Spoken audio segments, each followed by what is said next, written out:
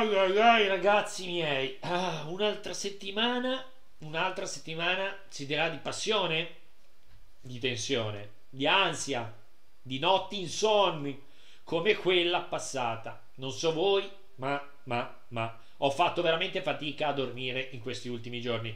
Non ne voglio neanche parlare della scorsa notte perché? Perché mi sono alzato almeno quattro volte, sguardo fisso nel soffitto. E questo sarà, sarà il leitmotiv della prossima settimana. Sì, perché alla grande vittoria, seppur sofferta dopo un primo tempo masticato amaro del Milan contro l'Atalanta, la gioia di vedere uno stadio applaudire la squadra con tanto di famiglie, sembrava quasi una festa a scudetto ed era prematuro perché l'Inter ha dimostrato di esserci, lo ha dimostrato dimostrato in un campo ostile come quello di Cagliari. In molti dicono il Cagliari non è neanche sceso in campo, non sono d'accordo perché così è facile con il senno di poi. L'Inter è entrata bene, l'Inter è entrata cattiva, l'Inter ha fatto più azioni da gol che corner battuti, ha preso pali, ha avuto mille occasioni, altri miracoli di cranio, quindi l'Inter, chapeau, come dice eh, il nostro amico, amico, amico più degli interisti che nostro Antonio Cassano, ha fatto il suo dovere. E non era facile ragazzi. Non era per niente facile dopo la partita del Milan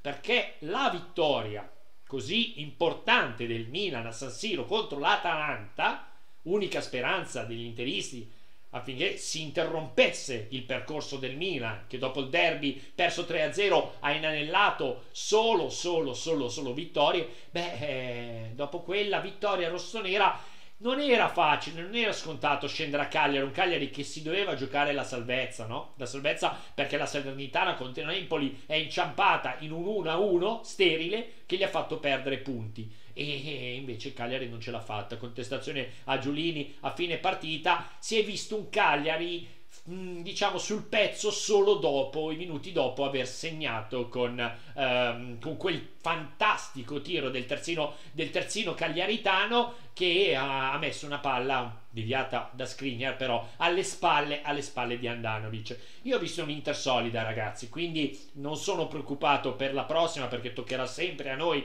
giocarci il vantaggio. Abbiamo due risultati utili su tre però dobbiamo andare come ho detto nella diretta con calciomercato.it dobbiamo andare con la voglia di fare tre punti. Se facciamo i calcoli noi non siamo una squadra capace di fare i calcoli guardate bene il calendario ripercorrete riavvolgete il nastro di questo calendario ogni volta che si giocava in casa contro una, tra virgolette, abbordabile, o meglio, dal blasone e dallo spessore di rosa e di qualità inferiore al Milan, eh, non sono arrivati i punti. Perché? Perché l'approccio è sempre stato quello sbagliato. Chiaro è che questo gruppo è arrivato ormai ad annusare, ad annusare il traguardo, lo ha lì eh? lo ha lì, sente il fiato sul collo dell'Inter, ma il fiato sul collo proviene da dietro e loro sono dietro di due punti, quindi il Milan deve fare il suo. Il Sassuolo però non è l'ultima delle ultime, non è sicuramente la squadra ideale per il Milan, visto che in quel di Reggio Emilia noi abbiamo sempre, sempre, sempre, di Emilia scusate, abbiamo sempre, sempre, sempre dei problemi.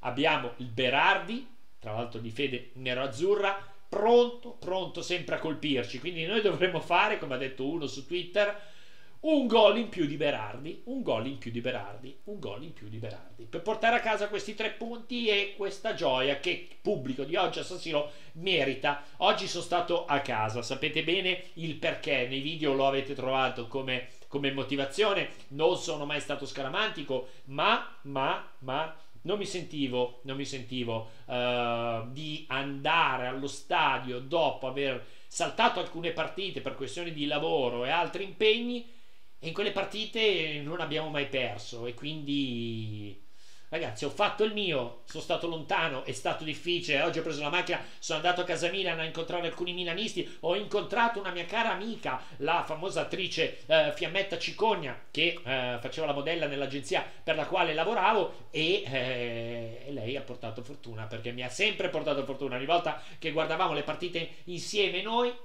il Milan vinceva, quindi rivederla ha portato fortuna al Milan. Detto questo, ho abbracciato tanti milanisti a casa Milan, ma poi sono tornato a casa, mi sono rivestito come nelle partite dove abbiamo raccolto i punti, infatti con questa felpa, ho sudato come un cinghiale, ma per il Milan questo ed altro. A parte questi dettagli che a voi possono interessare anche poco, ragazzi, noi andiamo, andiamo a, a Sassuolo con la convinzione di quello che possiamo fare. Noi quando giochiamo e quando si svegliano i ragazzi della sinistra, e che non è il, il, Partito Democratico, ma è la nostra fascia sinistra, ovvero il, il duo Leao-Teo Hernandez, il Milan è incontenibile. Molti tifosi dicono, ragazzi, rafforziamo la fascia destra, perché se dovessimo riuscire a rafforzarla almeno la metà di quanto è forte la fascia sinistra, l'anno prossimo potremmo veramente divertirci e soprattutto aumentare la pericolosità e l'imprevedibilità. Ritornando alla partita di oggi, quella di oggi è stata una partita complicata. Molti dicono brutto Mina nel primo tempo. Ragazzi, le partite si giocano in due.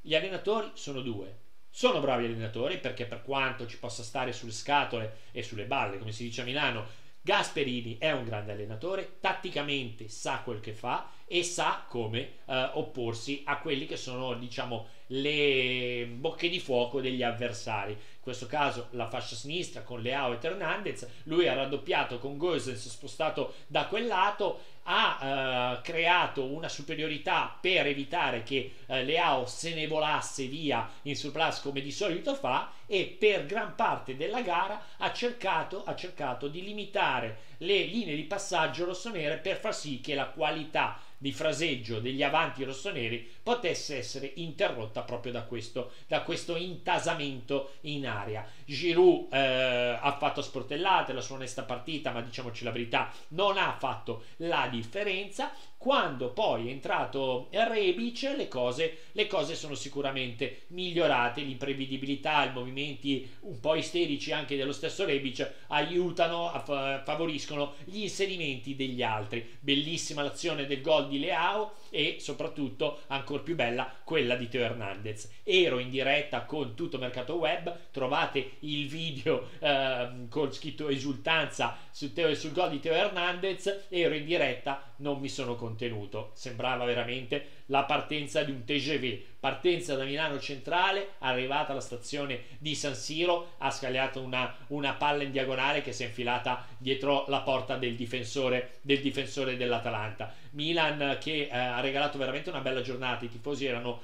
mh, mm, pieni di gioia. La cosa più bella la cosa più bella, ragazzi, di questo pomeriggio, seppure ancora tutto in bilico, è vedere i bambini, i bambini felici. Bambini rossoneri che in questi anni, diciamoci la verità, hanno dovuto masticare amaro, sono dovuti crescere, hanno dovuto frequentare la scuola vedendo gli altri vincere e essere milanisti dopo un periodo così duro li renderà ancora più forti nel prossimo futuro. E io mi auguro che già da questa stagione possano sorridere e festeggiare perché veramente molti di loro non hanno mai visto un trofeo alzato. C'erano veramente tanti tanti ragazzini. Tra l'altro su Twitter ne ho postati alcuni di un'amica, di un'amica rossonera che ho contattato magari la inviterò a replay dove i suoi due angioletti dicevano ai numeri corrispondevano i, i, i nomi del, del, um, dei giocatori in una matematica precisione quasi quasi sorprendente eh, da fare invidia ai più grandi. Quindi questa nuova generazione di milanisti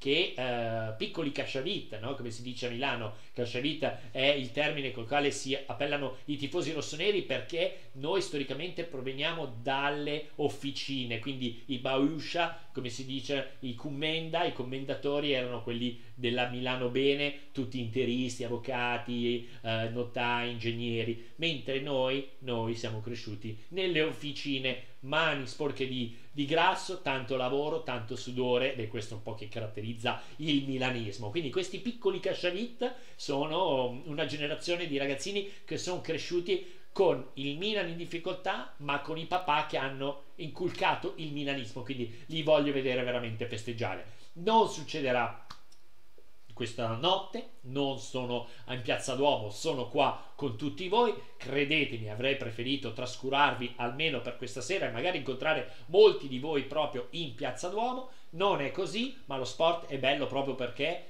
perché regala imprevedibili risultati. In verità era prevedibile che si rimandasse a settimana prossima un campionato bellissimo che fino al novantesimo non sa attribuire lo scudetto a una squadra piuttosto che l'altra e le retrocessioni a una piuttosto che l'altra. Questo vuol dire che la Serie A bistrattata, trattata a pesce in faccia, gestita da dei degli incompetenti sotto tutti i punti di vista a livello istituzionale, nonostante tutto, come capita nel nostro bel paese, nonostante la politica, nonostante chi abita questo bel paese, è così bello che riesce a superare ogni ostacolo. Quindi questo campionato distrattato perché non si è arrivato a 100 punti, ma che se ne frega. Siamo qua a 90 minuti dalla fine Milan e Inter da una parte e l'altra del naviglio a lottarci uno scudetto col coltello tra i denti. Io mi auguro che la prossima giornata faccia felice noi, però io quello che voglio dire a tutti i milanisti,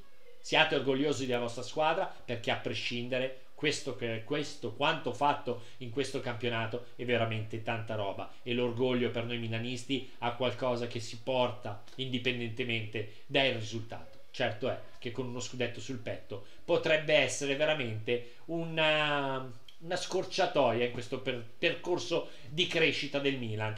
Ragazzi, io vi saluto. Sono senza voce, sono senza. c'è ancora un po' di adrenalina in corpo. Non so se dormirò perché mi, mi immaginerò tutti i, diciamo, i possibili scenari per settimana prossima. Questa sarà una settimana lunghissima, la passeremo insieme con un po' di video, con un po' di novità, ma con un obiettivo nella, nella testa. Sassuolo, Sassuolo, Sassuolo e i tre punti a Sassuolo, un gol più di, di Berardi. Ciao ragazzi, Forza Milan sempre, mettete mi piace, condividete, iscrivetevi al canale, fate quello che volete, ma soprattutto ti fate Milan e voglietevi bene. Ciao!